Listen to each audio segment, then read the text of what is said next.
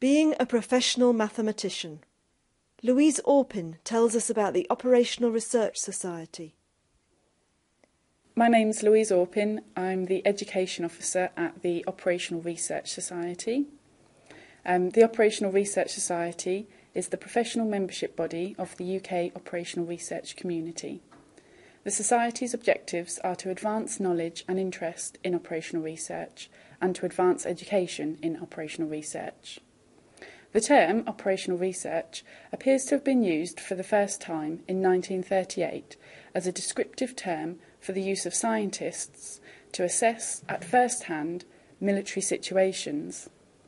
The OR Society was founded some 10 years later in 1948. Today, operational research is used by a wide range of industries and sectors to help solve complex problems and improve decision making. The Operational Research Society caters to its members working across all of these areas. The Society provides training, conferences, publications, and information to those working in operational research. The Society also promotes operational research in schools and businesses and as a career. The Society provides an extensive training programme ranging from introduction to OR to advanced analytical techniques such as simulation and softer skills such as facilitation skills. We publish seven international journals that disseminate the latest developments in operational research and covers all aspects of OR, including specific topics such as health systems, knowledge management, and information systems. National, international, and specialist conferences are organised by the Society. This includes an annual conference in September and a Young OR conference held every other, other year that is intended for those with up to 10 years' experience in operational research.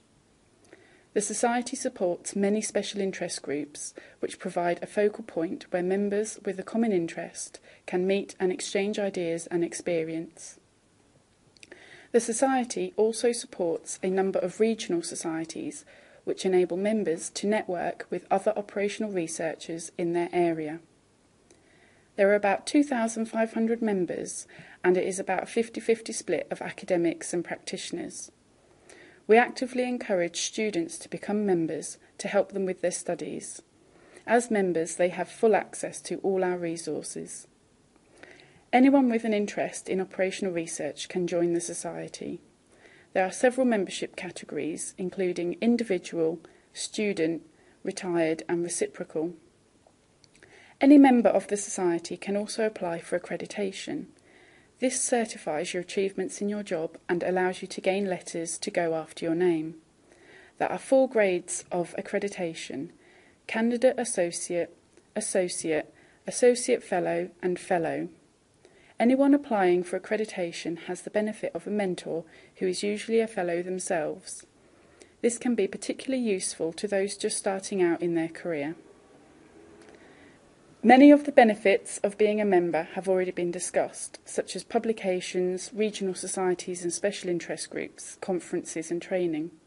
The most important benefits are the networking opportunities, being able to keep up to date with developments in, in operational research, developing skills to advance your career, and information about job vacancies.